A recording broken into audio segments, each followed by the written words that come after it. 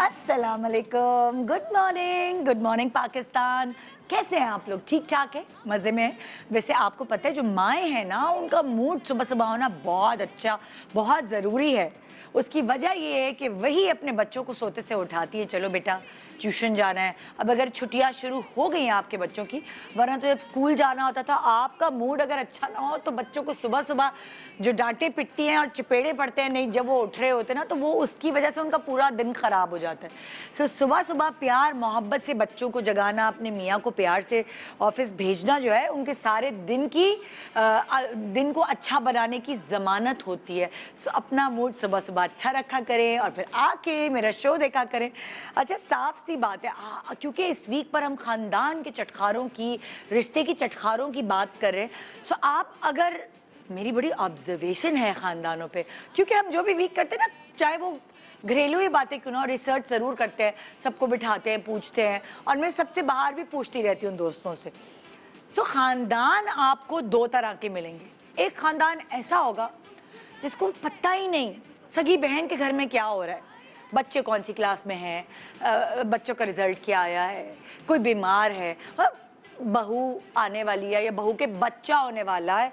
बहुत ही लिए दिए रहते हैं। आप उनको दावत पे बुला लें या आप उनको आ, मतलब बहुत अरसे बाद फ़ोन कर लें तो पता चल जाती है खैर आफियत।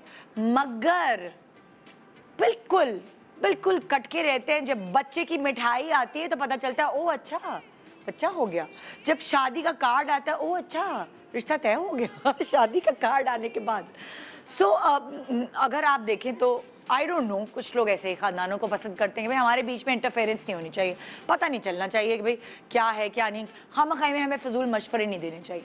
मगर वाइस वर्सा दूसरी तरफ़ एक खानदान ऐसा होता है जो आपस में इतना जुड़ा हुआ होता है। यहाँ तक कि बाकी सारी बातें छोड़ दे, बच्चे का एडमिशन भी स्कूल में कराना है तो भी आपस में सब मिलकर फैसला करते हैं।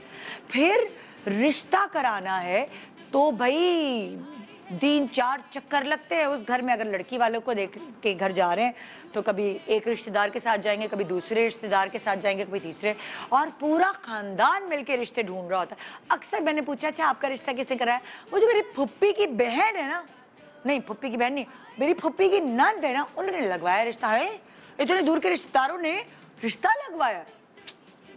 फिर अगर किसी एक सास की बहू तंग करिए तो सास की जितनी भी खानदान की है ना मतलब सारे जितने भी अरीब करीब के रिश्तेदार हैं, वो सब मशवरे दे रही होती है। अपनी बहू को ऐसे रखो, अपनी बहू को ऐसे रखो। तो मतलब ठीक ठाक इंटरफेरेंस अक्सर ऐसा भी होता है, अरे हाय, तुम्हारे फ्रिज की सफ़ाई नहीं हुई हुई, देखो, बहू को टाइट नहीं रखती तुम। आके पड़ोसों ने भी बोल देती मतलब जिसको टांग अड़ाने का शौक है, वो सब टांग अड़ा रहे होते हैं। लेकिन आप इसे नेगेटिव लें तो नेगेटिव लें, मगर अगर आप इसके पॉजिटिव एस्पेक्ट्स देखें, बच्चे की डिलीवरी है, उसमें सब आके मिलकर जो है वो दुआएँ करते हैं, कोई कुछ मशवरे, कोई कुछ मशवरे, या आपके घर में दावत है तो कोई कुछ पकाता है, कोई किसी चीज़ में हेल्प करता है, कोई किसी चीज़ में हेल्प करता है, या अगर शादी है घर में, ओहो, सब अपनी अपनी जिम्मेदारियाँ बांट लेते, भाभी, हम ये कर लेंगे, भाभी, हम ये कर लेंगे। अगर आप किसी दुख से गुजर रहे हैं तो आपकी हेल्प करने के लिए हमेशा किसी भी लालच के बगैर वो रिश्तेदार आपके साथ होते हैं। अगर आपका अकेलापन है अगर आपके घर में इंतकाल हो गया है सो हमेशा कोई ना कोई आके भाई तीन दिन हम रह लेंगे तीन दिन आप रह लीजिएगा तीन मतलब लाइक एक महीना डेढ़ महीना तो पता ही नहीं चलने देते कि घर में कोई सोग है अपनी इस मोहब्बत और अपनी इस इंटरफेरेंस के थ्रू सो so, कभी कभार ऐसा होता है कि ख़ानदान की इंटरफेरेंस और ख़ानदान का जुड़ा होना बहुत ही करामत साबित होता है।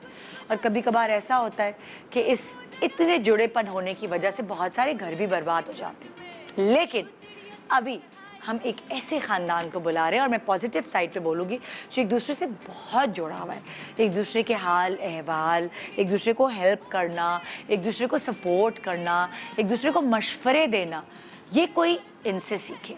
और ना सिर्फ़ ये दुख सुख में साथ होते, बल्कि खुशी के एलिमेंट में भी हमेशा साथ नज़र आते हैं और धूम धड़के से हर इवेंट को, हर छोटी छोटी चीज़ को सेलिब्रेट करते हैं।